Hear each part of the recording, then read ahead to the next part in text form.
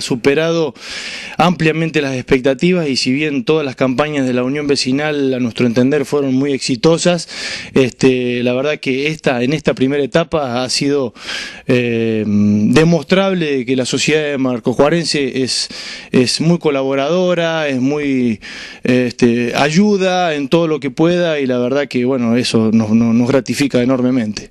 Bueno, ¿qué falta por recorrer? ¿Cuándo lo van a hacer? Bueno, la segunda etapa de esta campaña sería el sábado 13 de junio. Recorreríamos todo el barrio norte de la ciudad de Marco Juárez, desde la calle Bolivia a Brasil y desde Juan B. Justo a San Juan. Bueno, esto lo van a hacer como lo hacen siempre, casa por casa. Primero se van a repartir los volantes y después ese sábado salimos, desayunamos todos juntos acá, como es costumbre, y a las 9 de la mañana comenzamos el recorrido de la campaña, hasta finalizar. ¿Tiene la gente las cosas preparadas? ¿Ya está, está como esperándolos? Sí, esta campaña nos sorprendió porque hacía mucho frío el sábado y hasta invitaban a las personas que estaban recorriendo a tomar café o algo caliente adentro de las casas. Fue impresionante el recibimiento que tuvimos con la gente esta campaña. Ya nos tienen todo preparado, sí.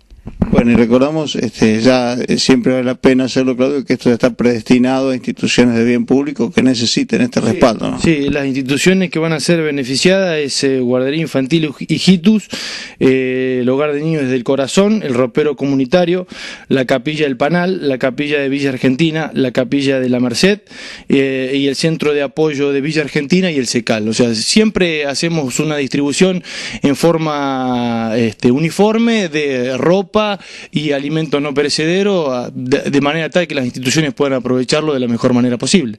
Bueno, sé que en realidad todo el equipo del partido está siempre listo para esto, es decir, con vehículos, la gente del partido, no importa la función que tenga, la gente está dispuesta a colaborar y a participar. Sí, la verdad que sí, y lo vemos año tras año. Este movimiento eh, fue de casi más de 120 personas, entre vehículos, eh, salen dos, uno de cada lado de, de las veredas, de manera tal que, bueno, se hacer en el menor tiempo posible. Aún así nos ha llevado en el, en el ejido que marcamos este, de mañana y de tarde. Se hizo el sábado por la mañana y se hizo el sábado por la tarde. Así que bueno, vuelvo a reiterar que el 13 vamos a estar nuevamente con la segunda etapa.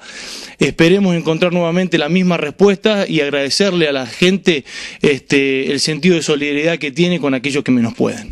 La última pregunta. Me decías que están cotidianamente aquí trabajando en el partido.